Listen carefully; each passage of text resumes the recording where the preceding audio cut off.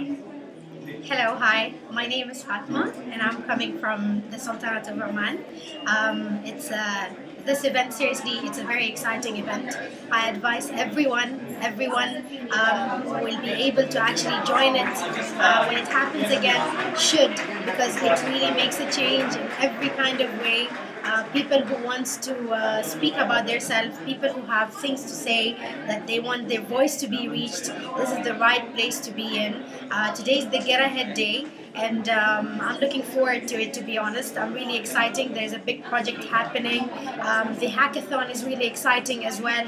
Um, I've joined like two sessions so far, and I hope that um, I'm going to be learning a lot from around everyone. Um, um, and uh, I guess that's about it. And uh, wish me all the best, and I wish everyone all the best. Thanks.